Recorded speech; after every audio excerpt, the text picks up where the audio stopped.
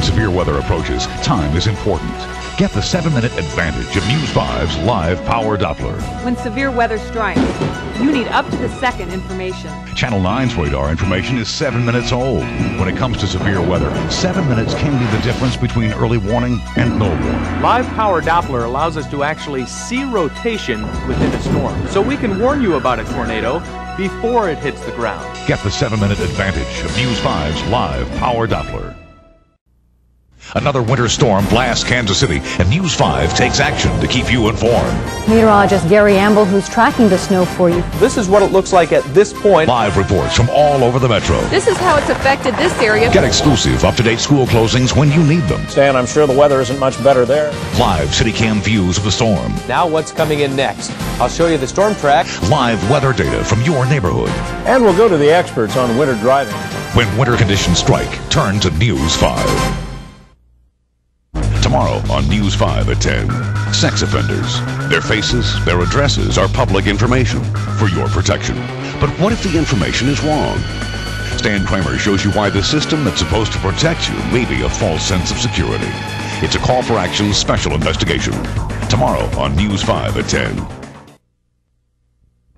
Tomorrow on News 5 at 10. Is your pharmacist putting your life in danger? If you're like me, you probably don't know that taking this prescription drug along with this one could be deadly. That's why we rely on our pharmacists. We took our hidden cameras to your local pharmacies, and not only did they sell us this deadly combination, but they did it without giving us a warning.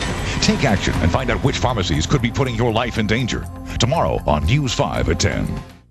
Imagine a business being owed $4 million by its customers, and for three years, it didn't lift a finger to collect the money.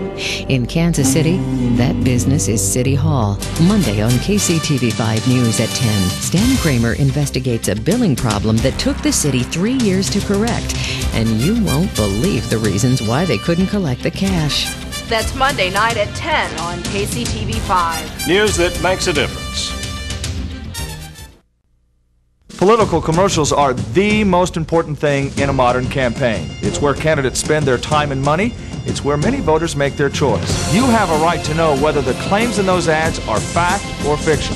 And that's why Truth Check takes a look at every ad in every race. Look, you can get mad about politicians' commercials on TV, or you can use them to make the best possible choice for you and your family.